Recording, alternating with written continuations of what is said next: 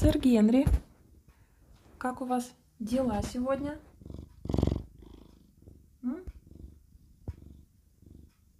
Вы не намерены давать интервью сегодня, да?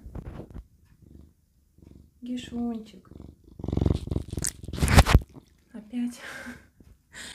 Я думаю, надо покупать микрофон, который через Bluetooth работает, потому что этот он сожрет просто-напросто, он уже весь в слюнях. Сэр Генри, вам нравится дома жить у своих хозяев? Давай, а то в прошлый раз ты так и не ответил.